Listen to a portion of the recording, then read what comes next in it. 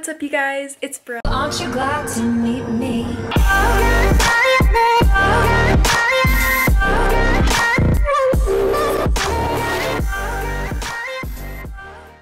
Uh, Esther's not here, but today we are going prom dress shopping. So we are going um, to try on some prom dresses. I'm going with my mom, so wish us luck. Okay, so this is the first dress. I just had my mom record for me because the store was actually pretty like they didn't let you record and they kind of were giving me weird eyes when they saw me with a vlog camera.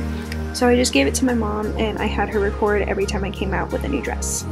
So this dress is sparkly, glittery all over. It's a blue color. It is um, backless and there is a deep V. It's a mermaid silhouette. I really liked it, but sadly my mom didn't.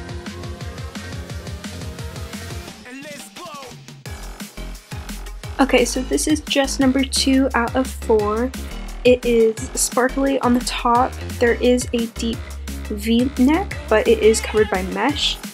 And it's a navy blue color. It's somewhat backless, but it has straps to cover it, which I really liked about it. There is a side slit, which I wasn't a huge fan of, but it also has a train, and it's kind of a mermaid silhouette, kind of not, but I do believe that the dress would have looked better if there was no slit, but then again, if you really wanted to, you could alter that to make that change. Alright, so this is the third dress. This is um, more of a mermaid silhouette than the others. This was definitely my favorite dress out of the ones I tried on. The one I tried on was in black, but they did offer different colors such as green, yellow, red, pink, and blue, I believe. So this dress had a very long train, which I really liked the back was, um, there were straps to fill it and I really liked the design of it. There was no deep v-neck, but it was um, square, which I was totally fine with because I think it fit the dress. I really liked the style of it and the fit of it. It fit me perfectly and I just absolutely admired it. Okay, so this was the last dress I tried on. It was a royal blue. It was somewhat backless.